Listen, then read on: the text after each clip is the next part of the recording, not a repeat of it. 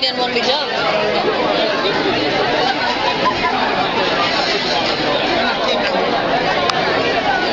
And my camera's almost dead.